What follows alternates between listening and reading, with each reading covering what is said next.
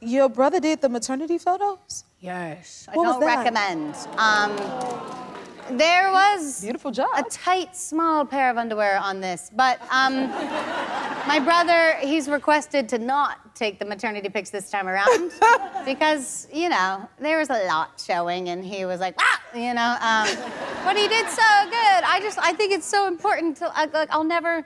I didn't know if I'd look like that ever again. So I was like, let's take a picture of it. Let's save this moment forever. And this was just in my house, you know? We set up a white, like, backdrop, and my brother took pictures for me, and I, I loved how they came out. He's It's never gonna do it beautiful. again. It's beautiful, and he did a beautiful job. He did great, right? He did a beautiful job. Yeah. He's like, oh. I'm good to never do it again. That, yeah, do it again. It's gorgeous.